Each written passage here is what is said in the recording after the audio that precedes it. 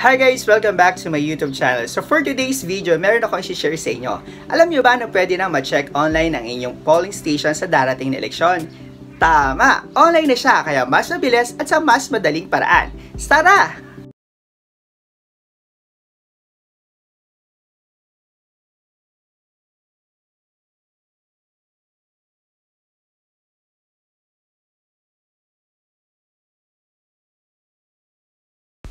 Una, pumunta kayo sa Google.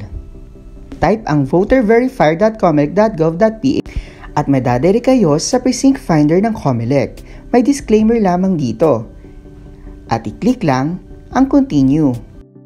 Unang lalabas sa voter information ang inyong location. I-click lang ang local. Pagkatapos, tatanungin ang iyong pangalan. Ilagay ang first name, halimbawa ako, itatype ko lang ang Gmail.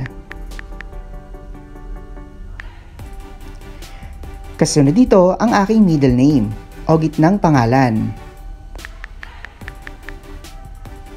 Pagkatapos, ilagay ang iyong apelido or ang last name. Dito, tatanungin kayo sa place of your registration. Ilagay lamang or mamili lamang ng probinsya Kung kayo taga Cotabato City o Isabela City, iselect ang special province. Pero ako, since ako'y nasa Nueva Ecija, ikinig ko lang siya. At mula rito, mamimili ka ng iyong city or municipality. Hanapin natin ang San Jose City.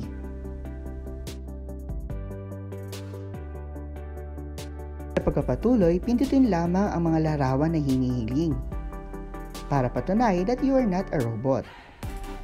Pindutin ang verify at pindutin ang search. May lalabas na confirmation. Nakasulat, are you sure you want to proceed with the information you have entered? If there are corrections that have to be made, you may still edit your information. Pindutin lamang ang proceed.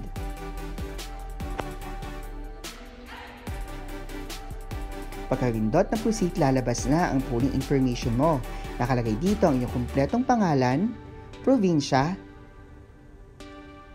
munisipalidad, polling place at ang precinct number. At nakalagay din sa baba ang iyong status.